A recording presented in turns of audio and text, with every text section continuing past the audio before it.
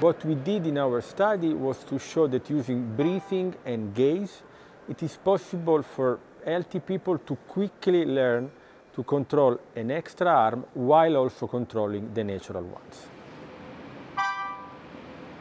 In order to test possible strategies for the control of an extra limb, we developed a platform integrating a virtual environment and a robotic exoskeleton that allows for immersive simulation.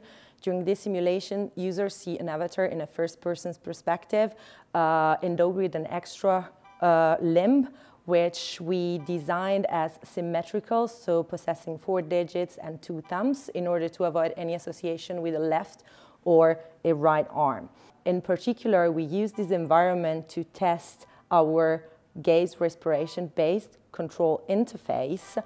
Uh, and as a first step, we decided to assess its actual feasibility for effective augmentation, so assessing the possibility of still speaking and uh, gazing around. Eventually, we were able to implement the interface that we developed for the control of a real robotic arm. And what was extremely interesting to see was that both trained participants and naive participants performed similarly, again showing the intuitiveness of our uh, control interface. What sets our approach apart from our colleagues is that we are looking at it as a fundamental neuroscientific question. For us, it's a allocation problem. Is our brain able to interact with more than two arms and two legs? is it able to coordinate them and control them independently. So we are also investigating other approaches to control this extra limb, for example, using vestigial muscles. So these muscles that we have in our body, but through evolution we have lost their functionality.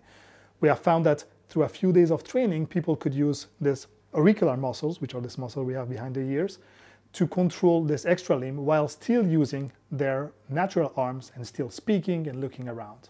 But we could also imagine this technology for rehabilitation of people with motor deficiencies?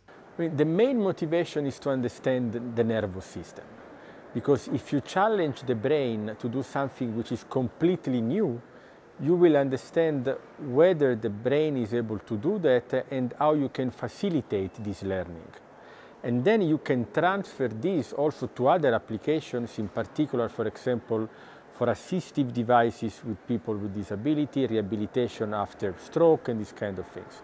So the motivation is can we boost the plasticity in the brain to allow the brain to learn to do something completely new and unseen before.